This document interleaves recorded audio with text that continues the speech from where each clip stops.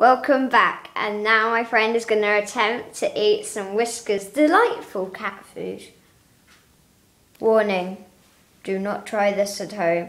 This has been trained by specially trained stunt people.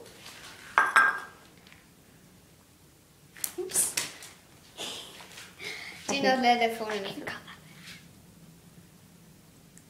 Look at that. Actually eating it.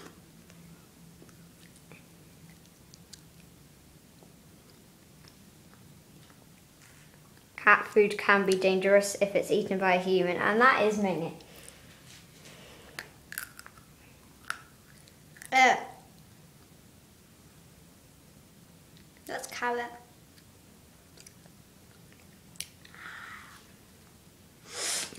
Last one.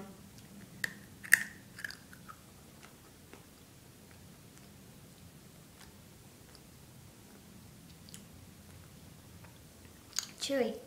Ah, that's nice. Warning, do not try these ones. They are deadly.